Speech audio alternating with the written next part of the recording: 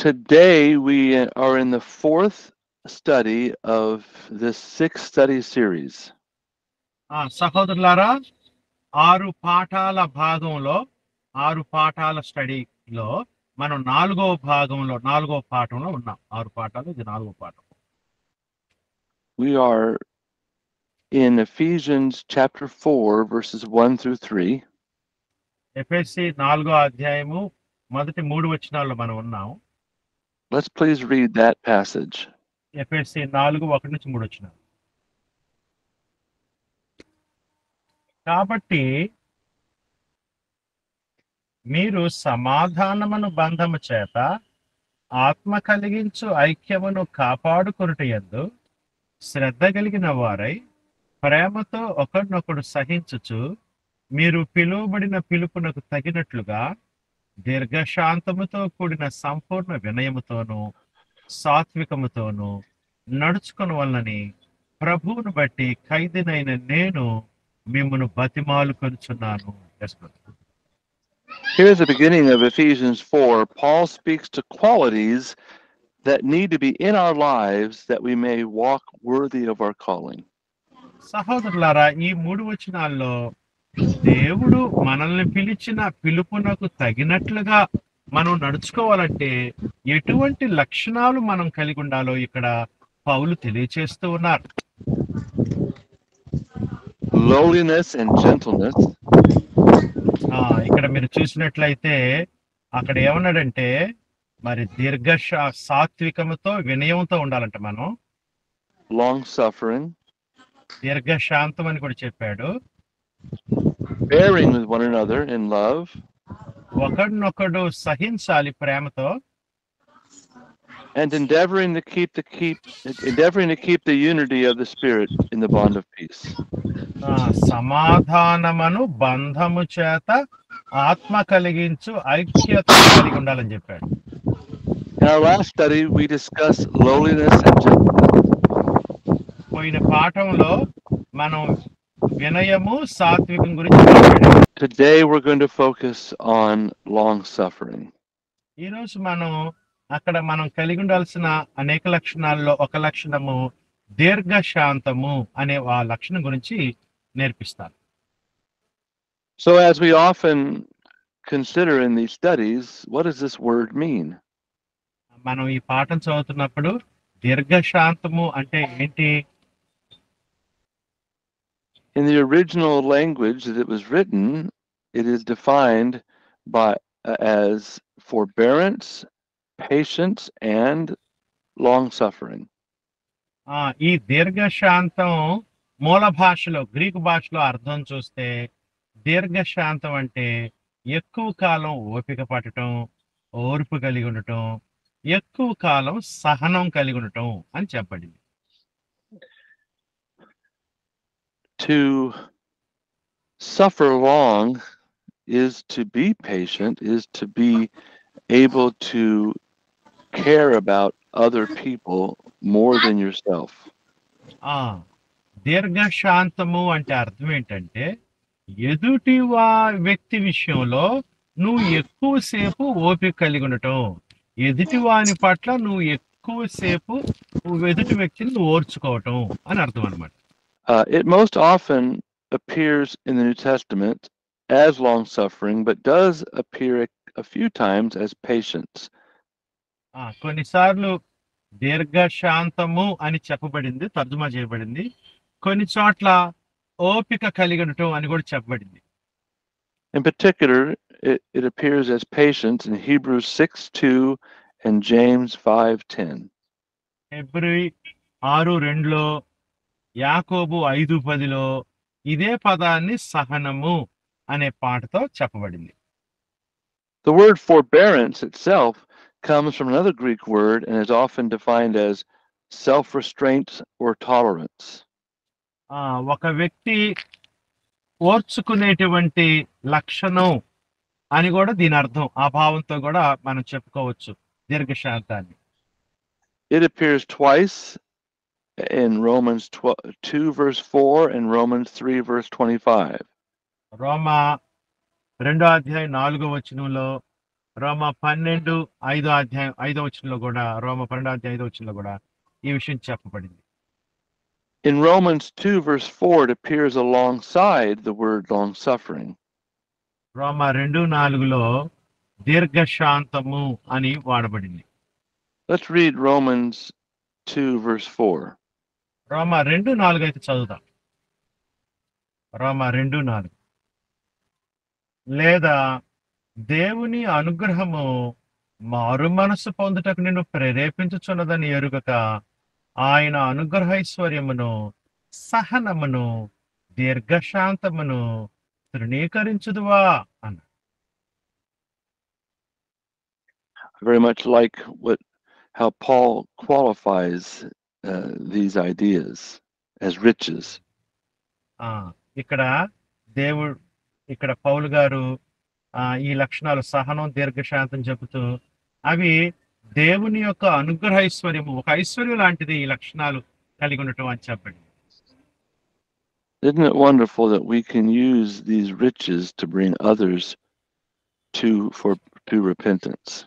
ఆ సహోదరులారా మరి ఈ లక్షణాలు గొప్ప ఐశ్వర్యంగా చెప్పబడింది. సహనము దీర్ఘశాంతం కలిగి ఉంటాం ఆ ఐశ్వర్యం ఆ గొప్ప లక్షణాలు కలిగి మనం కలిగి ఉండటం ద్వారా ఆ ఆ ఐశ్వర్యం మనం కలిగి ఉంటుంది ఇతరులను మనం ఇతరుల పట్ల ఓపిక కలిగి వారిని మార్చడానికి వారు మార్పు చెందడానికి మనం ఓపిక శాంతము దీర్ఘశాంతం కలిగి వారిని ప్రభు వైపు నడిపించాలి. It's interesting how the words we discussed in our last message and these words all overlap in their meaning and use. ఈ వచనం గాని ఈ పదం దీర్ఘశాంతం గాని పోయినసారి మనం ధ్యానించినటువంటి వినయము సాత్వికము ఈ లక్షణాలన్నీ కూడా ఒకదానికి ఒకటి దగ్గర సంబంధం కలిగిన లక్షణాలు ఇవన్నీ I, I find this is a common thread to the to the teaching, uh, uh, Paul's teaching. మరి పౌలు బోధల్లో ఈ లక్షణాలు ఒకదానికి ఒకటి పెనవేయబడి ఉండటం నేను గమనిస్తూ ఉంటాం మనం One may see it as being redundant, but I see that he adds layers of depth so that everyone will hear the message from their vantage point and may understand. కొంతమంది ఆ లక్షణాల్ని వేరువేరుగా భావించవచ్చేమో కానీ నేను ఎలా భావిస్తానంటే ఇవన్నీ కూడా ఈ లక్షణాలు ఒక పూలదండలాగా ఒకదానికొకటి ఒకదానికొకటి సంబంధం కలిగినటువంటి లక్షణాలు ఈ లక్షణాల ద్వారా లోతైన సహనము లోతైన దీర్ఘశాంతం ఈ లక్షణాల్లో లోతుల్లోకి వెళ్ళాలి అనే భావం నాకు కనపడింది It is critical that we read and understand our Bibles. ఉమ్, మనం బైబిల్ చదవటం ఒక్కొక్క పదాన్ని అర్థం చేసుకోవటం ఎంతో ప్రాముఖ్యం We cannot simply pick the, and choose the words or passages we like and disregard the rest. దయచేసి నీకు నచ్చిన వచనాల్ని ఎత్తి రాసుకొని మిగతా వచనాల్ని పక్కకు తోసేయొద్దు. ప్రతి వచనాన్ని కూడా ప్రాముఖ్యమైనదిగా ఎంచాలి. We cannot pass over difficult words or instructions and say, I, I just don't understand. ఆ ఈ పదం చాలా కష్టంగా ఉందండి. ఈ వచనం చాలా కష్టంగా ఉందండి. అందుకని నేను వచనాల్ని ఈ పదాలను ముట్టుకోను అని అనొద్దు. దయచేసి వాటి యొక్క భావాలు తెలుసుకుంటే ఇంకా వాక్యపు లోతుల్లోనికి మనం వెళ్ళొచ్చు This is why I like to get into the, voc- the vocabulary of the Bible in my studies. అందుకని నేనేం చేస్తూ ఉంటానంటే బైబిల్ చదివేటప్పుడు ఈ విధంగా ఒక్కొక్క పదం యొక్క లోతైన భావం ఏంటి మూల భాషలో దాని అర్థం ఏంటి ఆ వచ్చిన యొక్క పర్యాయ పదాలు ఏంటి అని నేను లోతుగా ధ్యానిస్తూ ఉంటాను Context matters. అంతేకాదు ఆ పదాన్ని మనం సరిగ్గా అర్థం చేసుకోవాలంటే ఆ సందర్భం ఏంటి అనేది కూడా మనసులో పెట్టుకోవాలి For our understanding of God's word, when we come across a word, phrase, or sentence that may not that may be hard to understand or difficult to apply, we have more work to do. ఆ ఎప్పుడైతే మనం కష్టమైన పదాలను ఎదుర్కొన్నప్పుడు బైబిల్లో కష్టమైన వచనాలను ఎదుర్కొన్నప్పుడు బైబిల్లో మనం ఆ ఆ వచనాలు కష్టంగా ఉన్నాయని దాన్ని నిర్లక్ష్య పెట్టకూడదు వాటి మీద ఇంకెక్కువ పని చేయాలి మనం. తద్వారా ఆ వచనాల యొక్క భావాన్ని మనం తెలుసుకోవచ్చు. It, it may be that we come to the text with a preconceived notion or resistance. ఆ కొన్నిసార్లు మనం వచనాలను ఎలా సమీపిస్తామంటే మనం ఇదివరకు ఏం అర్థం చేసుకున్నామో ఆ భావంతో ఆ వచనాలను సమీపిస్తుంటాం. And so it's important for us to look for the greater context. అందుకని మనం అసలు ఆ సందర్భంలో ఆ పదం ఆ వచనం ఎందుకు వాడబడింది అని అర్థం చేసుకోవడానికి ప్రయత్నించాలి When we understand the greater context, then we are left with little or no excuse for our resistance to the word. ఎప్పుడైతే మనం సందర్భాన్ని అర్థం చేసుకొని ఆ పదాలు ఎందుకు వాడబడినో తెలుసుకుంటే మనం ముందుగా ఉన్నటువంటి ఆలోచనల్ని పక్కకు పెట్టొచ్చు నిజమైన భావం ఏంటో అర్థం ఏంటో గ్రహించవచ్చు So we're gonna we're gonna uh, consider an example today. ఈరోజు ఒక ఉదాహరణ చూద్దాం దీనికి గాను Uh, let's consider what Jesus says in Matthew 7, verses 1 and 2. మత్తి సువార్త ఏడో అధ్యాయము మొదటి రెండు వచనాల్లో ప్రభు అయిన యేసు ఏం చెప్పారో చూడండి మతేశ్వార్త ఏడో అధ్యాయము మొదటి రెండు వచనాలు. మీరు తీర్పు తీర్చకుడి అప్పుడు మిమ్మల్ని గూర్చి తీర్పు తీర్చబడదు. మీరు తీర్చు తీర్పు చొప్పుననే మిమ్మను గూర్చి తీర్పు తీర్చబడను. మీరు కొలుచు కొలత చొప్పుననే మీకును కొలవబడును. Our Lord continues through the next three verses to explain with this speck and plank comparison. ఆ సహోదరులారా ఈ వచనాల్లో తర్వాత వచనంలో ప్రభు అయిన యేసు కంట్లో ఉన్న దూలం గురించి కంట్లో ఉన్న నలుసు గురించి కూడా మాట్లాడారు Oh, let's go ahead and let's go ahead and read uh, three through five. ఆ మత్త ఏడు మూడు నుంచి ఐదు వచనాలు కూడా చదువుదాం మత్త ఏడు మూడు నుంచి ఐదు నీ కంటిలోనున్న దూలము నెల్చక నీ సహోదరుని కంటిలోన నలుసును చూచుట ఎలా? నీ కంటిలో దూలముండగా నీవు నీ సహోదరుని చూచి నీ కంటిలో ఉన్న నలుసును తీసివేయనిమ్మని చెప్పనేలా వేషధారి మొదట నీ కంటిలోనున్న దూలమును తీసివేసుకునము. అప్పుడు నీ సహోదరుని కంటిలోనున్న నలుసును తీసివేయుటకు నీకు తేటగా కనపడును. There is enough in this passage to understand by context what Jesus is teaching about judging. సహోదరులారా ఎదుటి వారిని తీర్పు తీర్చడం అనేటువంటి సందర్భాన్ని బట్టి యేసు ప్రభు ఏ సందర్భంలో ఈ మాటలు చెబుతున్నాడో ఆ సందర్భాన్ని బట్టి ఈ వచనాలను అర్థం చేసుకోవాలి Many, however, will stop at his first two words, judge not, as though this was the sum of the message. ఆ కొంతమంది ఏం చేస్తూ ఉంటారంటే మత్తి సువార్త ఏడో అధ్యాయం మొదటి రెండు వచనాలు చదివి అదిగో తీర్పు తీర్చొద్దన్నాడు. నువ్వెందుకు నాకు తీర్పు తీరుస్తావు? అని ఆ మొదటి రెండు వచనాల వరకు చెప్పి ఆగిపోతారు కానీ మిగతా వచనాలు గమనించరు. There is another passage in which we can make the same mistake. మరి ఇంకొక వచనం కూడా ఉంది. ఇట్లాంటి తప్పే చేయొచ్చు మనం ఆ ఒక్క వచనాన్ని పట్టుకుంటే. In Romans chapter 2, రోమా రెండు let's just read verse, um, the beginning of verse, well, uh, verse 1. R- Romans 2, verse 1.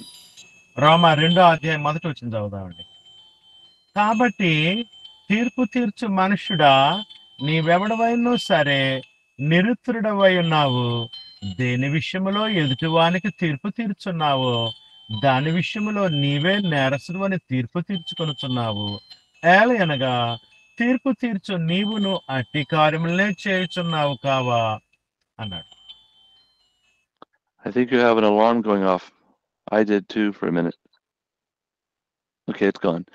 Um, as with Jesus' words in Matthew 7, we have to be careful not to simply pluck a phrase from the larger passage and call it understanding.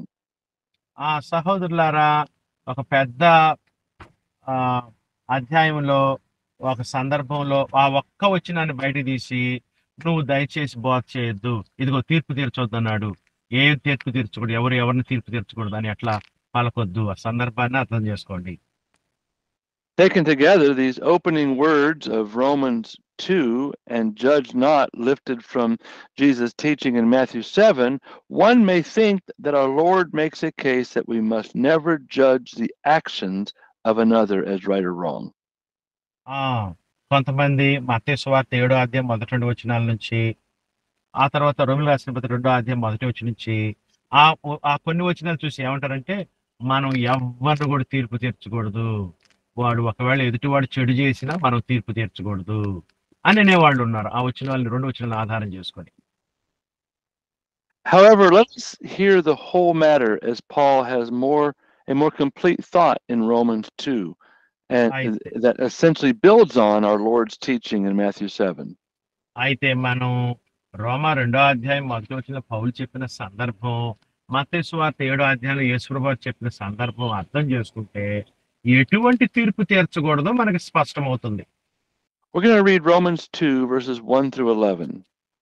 రోమా రెండు ఒకటి నుంచి పదకొండు వచ్చినాలు రోమా రెండు మొదటి వచ్చి నుంచి పదకొండు వచ్చినాలు కాబట్టి తీర్పు తీర్చు మనుషుడా నీవెవడమైనా సరే నిరుత్రుడు అయినావు దేని విషయంలో ఎదుటివానికి తీర్పు తీర్చున్నావో దాని విషయంలో నీవే నేరసుడు అని తీర్పు తీర్చుకొనుచున్నావు. ఏలయనగా తీర్పు తీర్చు నీవును అట్టి కార్యములే చేయుచున్నావు కావా. అట్టి కార్యములు చేయు వారి మీద దేవుని తీర్పు సత్యమును అనుసరించినదే అని ఎరుగుదుము. అట్టి కార్యములు చేయవారికి తీర్పు తీర్చుచు వాటినే చేయుచున్న మనుషుడా నీవు దేవుని తీర్పు తప్పించుకుందునని అనుకుందువా? లేదా దేవుని అనుగ్రహము మారు మనసు పొందుటకు నిన్ను ప్రేరేపించున్నదని ఎరుగుక ఆయన అనుగ్రహైశ్వర్యమును సహనమును దీర్ఘశాంతమును తృణీకరించుదువా? నీ కాఠిన్యమును మార్పు పొందని నీ హృదయమును అనుసరించి ఉగ్ర దినమందు అనగా దేవుని న్యాయమైన తీర్పు బయలుపరచబడి దినమందు నీకు నీవే ఉగ్రతను సమకూర్చుకొనుచున్నావు. ఆయన ప్రతివానికి వాని వాని క్రియల చొప్పున ప్రతిఫలమిచ్చను. సత్క్రియను ఓపికగా చేయొచ్చు మహిమను ఘనతను అక్షయతను వెదుకు వారికి నిత్యజీవమునిచ్చను. అయితే భేదములు పుట్టించి సత్యమునకు లోబడక దుర్నీతికి లోబడు వారి మీదకి దేవుని ఉగ్రతయు రౌద్రమును వచ్చును. దుష్కారము చేయు ప్రతి మనుషుని ఆత్మకు మొదటి యూదునికి గ్రీసు దేశస్థునికి కూడా శ్రమయు వేదనయు కలుగును. సత్క్రియ చేయు ప్రతి వానికి మొదటి యూదునికి గ్రీసు దేశస్థునికి కూడా మహిమయు ఘనతయు సమాధానమును కలుగును. దేవునికి పక్షపాతము లేదు. The message from Jesus in Matthew and as expanded here in Romans 6 by Paul is not simply judge not. యేసు ప్రభు చెప్పిన మత్తయి వార్త ఏడో అధ్యాయం మొదటి వచనంలో గాని పౌలు చెప్పిన రోమిల్ రాసిన రెండో అధ్యాయంలో గాని ఆ యొక్క వచనాల సారాంశం ఏంటి? అస్సలు తీర్పు తీర్చకూడదు అనేది కాదు కానీ Nor is it simply you who judge are inexcusable. మరి తీర్పు తీర్చేవాడు ఈ శిక్ష ఉంటది అనేటువంటి ఉద్దేశం కాదు కానీ Rather, it is inexcusable to judge others for that which you yourself are doing. ఆ ఏ విషయంలో తీర్పు తీర్చొద్దంటే ఎదుటి వానిలో ఆ లోపం ఉంది నువ్వు కూడా అదే లోపం చేస్తున్నావు నువ్వు దిద్దుకోకుండా ఎదుటి వాడిని దిద్దే ప్రయత్నం ఉంది అది సరైన తీర్పు కాదు ముందు నువ్వు దిద్దుకోవాలి This is the specific point that Jesus is making in Matthew 7 1 through 5. మతేసు వార్త ఏడో అధ్యాయం మొదటి ఐదు వచనాలు కూడా ప్రభు అయిన యేసు ఈ బోధే చేశారు ఇదే విషయం చెప్పారు ఆయన కూడా అక్కడ How do we judge the speck in another person's eye when we have a plank in our own? ఏయా సహోదరులారా ఎదుటివాని కంట్లోనేమో చిన్న నలుసుంది నీ కంట్లోనేమో పెద్ద దూలం ఉంది నువ్వు ఎట్లా ఎదుటివాని కంట్లో నలుసుని తీస్తావు నీ కంట్లో దూలం పెట్టుకొని Jesus is telling us to take a look at our own lives first. ఆ యేసు ప్రభు ఉద్దేశం ఏంటంటే మొట్టమొదట మిమ్మల్ని మీరు తీర్పు తీర్చుకోండి సరి చేసుకోండి ఆ తర్వాత ఎదుటి వాడిని తీర్పు తీర్చండి సరి చేయండి అని చెప్తున్నారు Paul drives the same point home while we are, uh, uh, while also teaching us by discussing God's goodness, forbearance, and long suffering. We need to show the same toward one another. ఆ పౌలు గారు కూడా రోమ రెండో అధ్యాయంలో దేవుని అనుగ్రహైశ్వర్యాన్ని మనం అనిపిస్తున్నాం దేవుడు మన పట్ల సహనం చూపిస్తున్నాడు. ఓపిక కలిగి ఉన్నాడు. మనం మారు మనసు పొందుతామని. అట్లానే మనం కూడా సహనం కనికరం ఎదుటివాడు మారు మనసు పొందాలని ఎదుటివారి పట్ల అటువంటి అనుగ్రహైశ్వర్యాన్ని దీర్ఘశాంతాన్ని కనపరచాలి అని చెప్తున్నాడు పౌల్ గారు. In our next study, we will dig into this a little bit more as we discuss Galatians 6 1 through 5. గలతి ఆరో అధ్యాయం మొదటి ఐదు వచనాలు మనం ధ్యానించేటప్పుడు ఈ వచనాలను ఇంకా లోతుగా ధ్యానిస్తాం while considering bearing with one another in love. మరి అక్కడ చెప్పాడు కదా ప్రేమతో ఒకరినొకడు సహించుడి అనే పదం వచనం గురించి మనం ధ్యానించినప్పుడు Today, we'll continue to work on understanding long suffering. ఈరోజు మనం ఇంకొంతగా ఇంకొంత అర్థ- అర్థం చేసుకుందాం దీర్ఘశాంతం అనే పదం నుంచి God is long suffering toward us. దేవుడు మన ఎడల దీర్ఘశాంతము కలవాడై ఉన్నాడు Let's read again Romans 2, verse 4. రోమ రెండు నాలుగు చదువుదామండి రోమ రెండు అధ్యాయం నాలుగు వచ్చిన లేదా దేవుని అనుగ్రహము మారు మనసు పొందుటకు నిన్ను ప్రేరేపించుచున్నదని ఎరుగక ఆయన అనుగ్రహైశ్వర్యమును సహనమును దీర్ఘశాంతమును తృణీకరించుదువా In, ref- in reference to what we were just examining about judgment, Paul is asking, Do you not remember God's long suffering towards you? మరి పౌలు గారు ఎదుటివానికి తీర్పు తీర్చే వాని గురించి చెప్తే ఏమన్నాడంటే దేవుడు నీ పట్ల దీర్ఘశాంతం వహిస్తున్నాడు కదా నువ్వెందుకు ఎదుటివాని పట్ల పొరుగువాని పట్ల దీర్ఘశాంతం వహించకూడదు అని చెప్తున్నాడు I'd like for us to read it's a, a lengthy text, uh, Matthew 18, 21 to 35. మత్తే సువార్త పద్దెనిమిదో అధ్యాయము ఇరవై ఒకటి నుంచి ముప్పై ఐదు వచ్చినాలు మత్తే సువార్త పద్దెనిమిదో అధ్యాయము ఇరవై ఒకటి నుంచి ముప్పై ఐదు వచ్చినాలు పెద్ద ప్యాసేజ్ ఇది చదువుదా పెద్ద భాగం చదువుదాం మత్తయ్య పద్దెనిమిది ఇరవై ఒకటి నుంచి ముప్పై ఐదు ఆ సమయమున పేతురు ఆయన యొద్దకు వచ్చి ప్రభువా నా సహోదరుడు నా ఎడల తప్పిదము చేసినలా నేనెన్ని మార్లు అతన్ని క్షమింపవలను ఏడు మార్లు మటుక అని అడిగాను. అందుకు యేసు అతనితో ఇట్లనెను ఏడు మారుల మటుకే కాదు డెబ్బది ఏళ్ళ మారుల మటుకే నీతో చెప్పుచున్నాను. కావున పరలోక రాజ్యము తన దాసుల యొద్ద లెక్క చూచుకొన గోరిన యొక్క రాజును పోలి ఉన్నది. అతడు లెక్క చూచుకొన మొదలుపెట్టినప్పుడు అతనికి పదివేల తలాంతులు వచ్చి ఉన్న ఒకడు అతని యొద్దకు తేబడిను. అప్పు తీర్చుటకు వాని యొద్ద ఏమీ లేనందున వాని యజమానుడు వానిని వాని భార్యను పిల్లలను వాని కలిగినది యావత్తును అమ్మి అప్పు తీర్చవలని ఆజ్ఞాపించెను.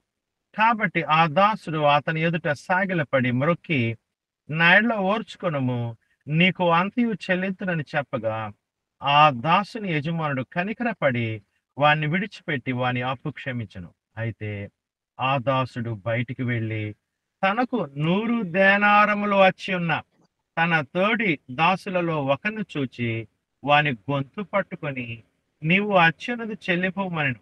అందుకు వాని తోటి దాసుడు సాగిలపడి నా ఎడల ఓర్చుకొనుము. నీకు చెల్లించదని వాణ్ణి వేడుకొను గాని వాడు ఒప్పుకొనక అచ్చునది చెల్లించు వరకు వాణ్ణి చెరసాల్లో వేయించను. కాగా వాని తోటి దాసులు జరిగినతో చూచి మికిలి దుఃఖపడి వచ్చి జరిగినదంతయు తమ యజమానికి వివరముగా తెలిపిరి.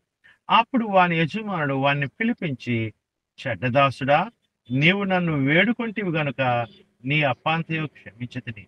నేను నిన్ను క్షమించిన ప్రకారము నీవును నీ తోటి దాసుని కరుణింపవలసినను కదా అని వానితో చెప్పాను. అందుచేత వాని యజమానుడు కోపపడి తనకు వచ్చినదంతయో చెల్లించు వరకు బాధపరుచు వారికి వాడిని అప్పగించాను. మీలో ప్రతివాడును తన సహోదరుని హృదయపూర్వకముగా క్షమింపనిడలా నా పరలోకపు తండ్రియు ఆ ప్రకారమే మీడలో చేయుననెను. Yes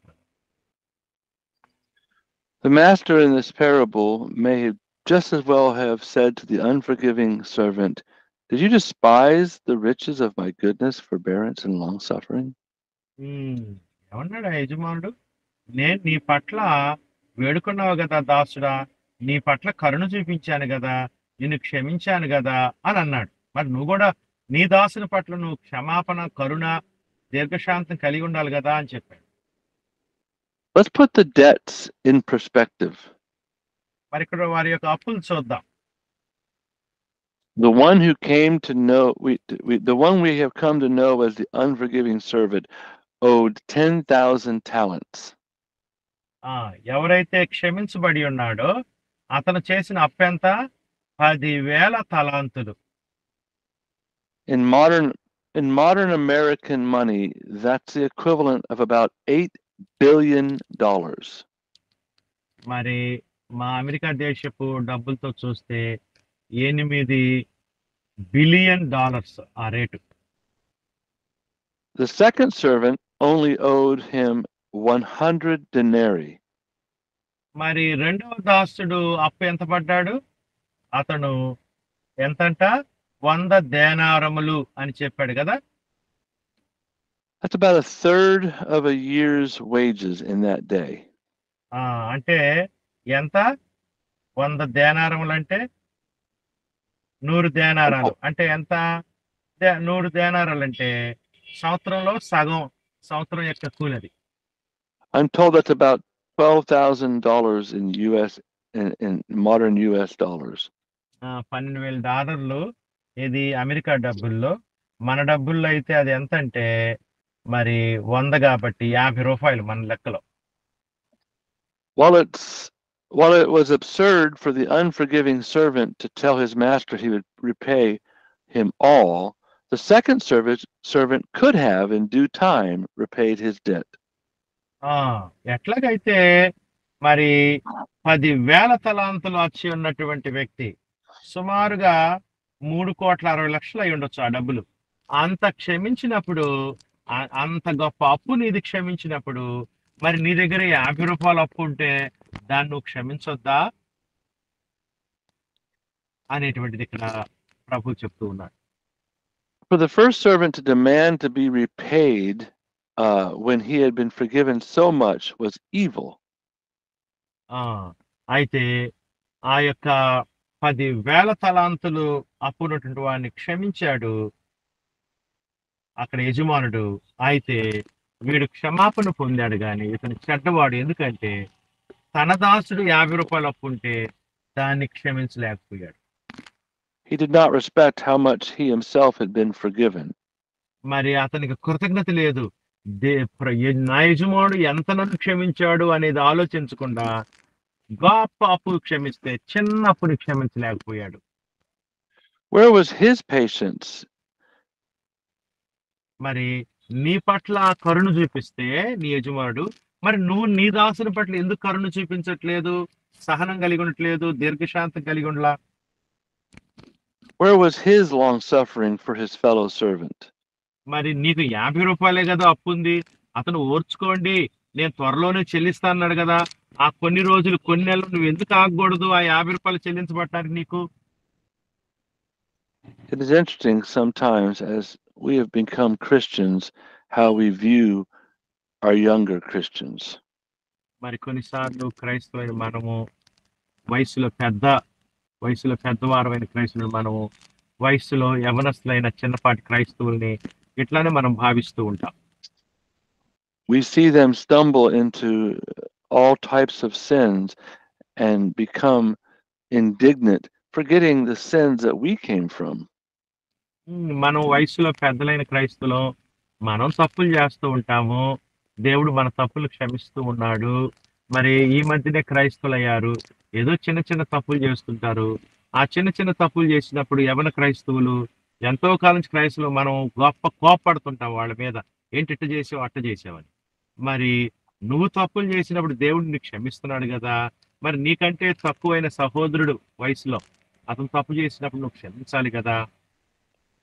We must not mistake this as excusing sin. ఆ, దయచేసి క్షమించడం అనేది ఒక సాకుగా తీసుకోవద్దు నేను తప్పు చేస్తా ఉంటా ఆయన క్షమిస్తా ఉంటాడులే అనేటువంటి కుంటి సాకు చెప్పొద్దు rather being patient to help people overcome. అయితే ఎదుటివాని పట్ల దీర్ఘశాంతం వహించి అతను మారుమనసు పొందటానికి సహాయపడాలి మనము And again, we'll discuss this in our next study. మరి వచ్చే పాఠంలో కూడా ఈ విషయం కొన్ని విషయాలు నేను వివరిస్తాను When Peter asked Jesus, How often shall my brother sin against me and forgive him? he is asking another question. మరి ఇక్కడ ఒక ప్రశ్న అడిగాడు పేతురు యేసుప్రభు వారిని నా సహోదరుడు నా ఎడల తప్పిదం చేసినప్పుడు నేను ఎన్ని మార్లు క్షమించాలి అని అడిగాడు He's asking, How much patience shall I show? లేకపోతే దాని అర్థం ఏంటంటే నేను ఎంతకాలం నా సహోదరుని ఎడల తప్పు చేస్తే దీర్ఘశాంతం ఓపిక వహించాలి అని అడిగినట్టు How forgiving should I be? నేను ఎంతగా క్షమించేవానిగా ఉండాలి అని అడిగినట్టు Should I forgive up to seven times? ఒకవేళ నా సహోదరుని ఎడల తప్పు చేస్తే నేను ఏడు సార్లు క్షమించాలి అంతేనా Jesus' answer was as remarkable as the master's forgiveness in the parable. యేసు ప్రభు దానికి సమాధానం ఎట్టిచ్చాడంటే పెద్ద అప్పు క్షమించాడే యజమానుడు అట్లాంటి సమాధానం ఇచ్చాడు యేసు ప్రభు ఇక్కడ Not up to seven times, but up to 70 times seven. యేసు ప్రభు ఏమన్నాడు ఏడు సార్లు మటుకు కాదయ్యా డెబ్బది ఏళ్ళ మార్ల మటుకు అని చెప్పి He is not saying that we forgive somebody 490 times. మరి డెబ్బది ఏడు సార్లు అంటే డెబ్బై ఇంటూ ఏడు ఏడేళ్ళు నలభై తొమ్మిది నాలుగు వందల యాభై సార్లు మాత్రమే క్షమించాలని కాదు యేసు ప్రభు ఉద్దేశం He is making the case that we forgive someone so often that we simply lose count.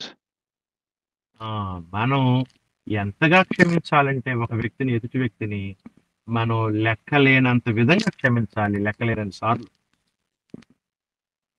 If we are counting how many times we've forgiven somebody, we are missing the point. ఆ ఎదుటి వ్యక్తిని ఎన్నిసార్లు నేను క్షమించాలి లెక్క పెడుతున్నావు ఒకటి రెండు మూడు అని అసలు నువ్వు క్షమాపణ దీర్ఘశాంతము ఉమ్, సహనం కలిగి ఉండటం అనే విషయమే మర్చిపోయినట్టు Again, we are to be so forgiving that we simply lose count. మనం ఎంతగా క్షమించాలంటే ఎదుటి వ్యక్తిని లెక్కగట్టనంతగా క్షమించగలగాలి If you're looking for a good definition of long suffering, that is it. మరి మీరు దీర్ఘశాంతము అనే దానికి నిర్వచనం ఏంటండి అంటే అదిగో ఈ ఉపమానం ఈ విషయం The very word tells the story. ఈ వచనం డెబ్బది ఏళ్ళ మారుల మటుకు అనే పదమే ఆ దీర్ఘశాంతానికి నిర్వచనం సమాధానం It is to suffer, it is to be suffering long. ఆ ఎక్కువ కాలం ఎంతకాలం అయితే అంతకాలం వరకు దీర్ఘశాంతం వహించడం or to accept much suffering. లేకపోతే ఎక్కువ కాలం సహించడం That is what the Lord asks of us. అది ప్రభు మన నుంచి కోరుతుంది ఎదుటి వాని పట్ల మనం ఆ విధంగా ఉండాలి దీర్ఘశాంతం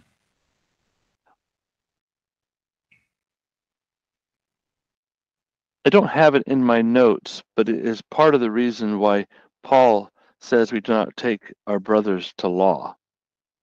ఆ, అంతేకాదు పౌల్ గారు ఒక టై ఒక సమయంలో ఏమని చెప్పాడంటే మనం అంట తోటి సహోదరులు మన ఇళ్ళ తప్పిదం చేస్తే అతన్ని తీర్పుకి కోర్టుకి ఏడ్చకూడదు అని చెప్పాడు పౌల్ గారు We ought to rather accept loss from one another than take one another before the world. మనం అంట మన మన ఎడలు ఎవరన్నా తోటి క్రైస్తవుడు సహోదరుడు తప్పు చేస్తే అతని కోర్టుకి ఈడ్చే కంటే అతను మనకు చేసిన నష్టాన్ని సహించటం గొప్ప లక్షణం అని అపోసిన పౌలు మొదటి కొరింది ఆరో అధ్యాయం first Corinthians six chapter. Let us consider Romans 2, verse 4, once again. రోమ రెండు నాలుగు.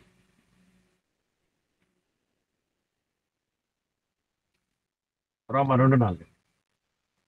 లేదా దేవుని అనుగ్రహము మారు మనస్సు పొందుటకు నిన్ను ప్రేరేపించున్నదని ఎరుగక ఆయన అనుగ్రహైశ్వర్యమును సహనమును దీర్ఘశాంతమును తృణీకరించుదువా Long suffering is a choice to hope for someone to change. సహోదరులారా ఎదుటివాని పట్ల దీర్ఘశాంతము అనే నిర్ణయాలు నువ్వు తీసుకున్నప్పుడు అర్థం ఏంటంటే ఎదుటివాని యొక్క మార్పును నువ్వు కోరుతున్నావు అని అర్థం to hope for repentance. ఎదుటివానికి అవకాశం ఇస్తున్నావు ఎదుటివాని పట్ల నిరీక్షణ కలిగడం అతడు మారు మనసు పొందటానికి This is God's love towards us. ఇటువంటి ప్రేమనే దేవుడు మన పట్ల కనపరిచాడు ఆ దీర్ఘశాంతాన్ని Consider 2 Peter 3, verse 9. రెండవ పేతురు మూడు తొమ్మిది చూడండి రెండవ పేతురు మూడు తొమ్మిది కొందరు ఆలస్యమని ఎంచుకున్నట్లు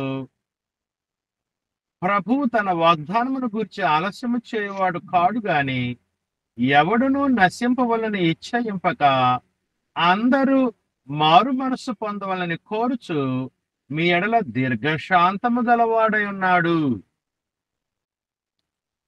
The Lord could have already returned with fire and brimstone to destroy the world once more. సహోదరులారా పేతురు ఏమని చెప్పాడంటే ఈ లోకాన్ని దేవుడు అగ్ని చేత దహించబోతూ ఉన్నాడు భవిష్యత్తులో He could have already taken home those who have chosen to follow him. ఆయన వెంబడించే వాళ్ళని ఎప్పుడో దేవుడు తీసుకెళ్ళిపోయేవాడే పరలోకానికి but he is instead waiting on mankind. మరి అయితే దేవుడు ఓపిక కలిగి ఇంకా కనిపెడుతున్నాడు When you look at the conduct of man, మనిషి యొక్క ప్రవర్తన మనం చూసినప్పుడు um, great goodness, forgiveness, and long suffering, he has. Uh, let me let me let me try this again. Um, it's because as he waits for mankind with his great goodness, forbearance, and long suffering, he has not simply delivered us to the judgment due to us. సహోదరులారా మనకి ఇవ్వవలసిన తీర్పును తీర్చుకున్న దేవుడు దీర్ఘశాంతం వహిస్తున్నాడు అనుగ్రహైశ్వర్యం సహనము ఓపిక పడుతూ ఉన్నాడు దేవుడు మన పట్ల Rather, Jesus died on the cross for sins, and he waits to see who will choose to obey. యేసు ప్రభు సిలువు మీద ఘోరమైన పాపశిక్ష అనుభవించారు ప్రభు చూస్తున్నాడు నేను చేసిన త్యాగాన్ని ఎవరు గుర్తించి రక్షణ పొందుతారా అని He will not wait forever. అయితే ఒక మాట ఎల్లకాలము కనిపెట్టడు ప్రభు దానికి ఒక పరిధి ఉంది దీర్ఘశాంతానికి ప్రభు దీర్ఘశాంతానికి but he does wait. అయితే ఎక్కువ దీర్ఘశాంతం చూపిస్తాడు అనేది వాస్తవమే For this, we ought to be grateful. అందును బట్టి మనం దేవుని కృతజ్ఞతలు తెలియజేయాలి దేవుడు మన పట్ల చూపిస్తున్న దీర్ఘశాంతం బట్టి If we mean to walk in love, then we seek to do what God has done for us. నిజంగా ప్రేమలో నడుచుకుంటున్నట్లయితే ప్రేమలో నడు నడుచుట అనే ఈ పాఠం యొక్క సారాంశం ఏంటంటే నువ్వు నిజంగా ప్రేమించినట్లయితే ఇతరుల పట్ల దీర్ఘశాంతం కలిగి ఉంటావు We will look for and even offer a way of escape to those who have sinned against us. మన ఎదుట మన మీద తప్పిదం చేసిన వాళ్ళు మరి వారికి మనం ఎందుకు దీర్ఘశాంతం వహిస్తూ సమయం ఇస్తున్నామంటే వారు తిరిగి రావటానికి మార్పు చెందటానికి Long suffering is a choice to allow others to do wrong and not seek justice or revenge. ఆ మనం దీర్ఘశాంతం వహిస్తున్నామంటే ఎదుటివాని యొక్క కీడుని ఎదుటివాని మీద పగ సాధిస్తున్నట్లు కాదు Instead, we hope for God's mercy to allow the sinner to repent, obey, and be redeemed. మన మన పట్ల పాపం చేసినటువంటి ఆ వ్యక్తిని మనం ఎందుకు దీర్ఘశాంతం వహిస్తున్నాడంటే అతడు దేవుని కృపను సహనాన్ని అర్థం చేసుకొని తన పాపపు స్థితిని గ్రహించి దేవుని వైపు మళ్ళాలని మనం దీర్ఘశాంతం వహించాలి In our next message, we'll talk about restoring someone from sin. మరి వచ్చే పాఠంలో పాపం చేసినటువంటి ఒక క్రైస్తవుడిని తిరిగి ఎలా మనం సత్యంలోకి తేవాలో మనం చూద్దాం For now, I'd like to end our study uh, today with a final passage of Scripture. మరి ఇంకొక వచనాన్ని చదివి వచనాలను చదివి ఈ పాఠాన్ని ముగించాలనుకుంటున్నాను నేను Let's read Romans 12 9 through 21. It's a long passage, I know. రోమా పన్నెండో అధ్యాయము తొమ్మిది నుంచి పన్నెండు వచ్చిన రోమా పన్నెండో అధ్యాయము తొమ్మిది నుంచి పన్నెండు వచ్చిన రోమా పన్నెండు తొమ్మిది నుంచి పన్నెండు. Romans chapter twelve verses. Nine through twenty 21. Twenty one okay రోమా పన్నెండు తొమ్మిది నుంచి ఇరవై ఒకటి అయ్యా. రోమా పన్నెండు తొమ్మిది నుంచి ఇరవై ఒకటి. మీ ప్రేమ నిష్కపటమైనదై ఉండవలను. చెడ్డదానిని అసహించుకొని మంచిదాన్ని హత్తుకుని సహోదర ప్రేమ విషయంలో ఒకరి ఒకడు అనురాగము గలవారై? ఘనత విషయంలో ఒకరినొకడు గొప్పగా ఎంచుకునుడి ఆసక్తి విషయంలో మాంద్యులు కాక ఆత్మయందు తీవ్రత గలవారై ప్రభువుని సేవించుడి నిరీక్షణ గలవారై సంతోషించుచు శ్రమయందు ఓర్పు గలవారై ప్రార్థన యందు పట్టుదల గలవారైనుడి పరిశుద్ధుల అవసరములలో పాలు పొందుచు శ్రద్ధగా ఆతిథ్యం ఇచ్చుచునుడి మిమ్మును హింసించు వారిని దీవించుడి దీవించుడు గాని క్షపింపవద్దు. సంతోషించు వారితో సంతోషించుడి ఏడ్చు వారితో ఏడువుడి అతనితో నకుడు మనస్సు కలిగిండుడి హెచ్చు వాటి యందు మనస్సుంచక తగ్గు వాటి యందు ఆసక్తులైండుడి మీకు మీరే బుద్ధిమంతులమని అనుకోవద్దు కీడుకు ప్రతి డెవనికిని చేయవద్దు.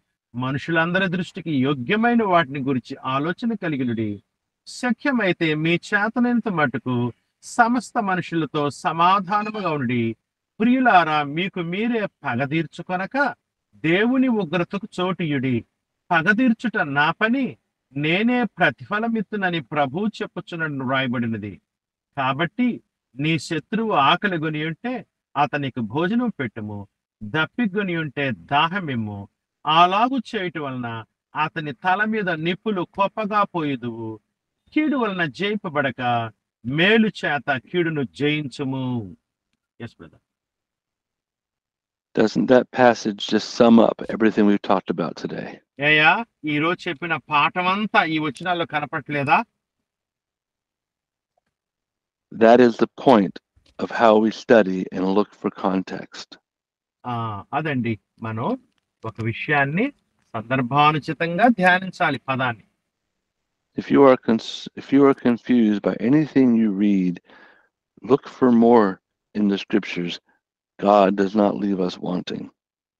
ఆ సహోదరులారా నీకు ఎప్పుడైనా సందేహం వచ్చినప్పుడు ఆ వచనాలు పైన కింద సందర్భం ఏమిటో చదివినట్లయితే మనకి సరిగా వచ్చిన అర్థం అవుతుంది దేవుడు సహాయపడగలడు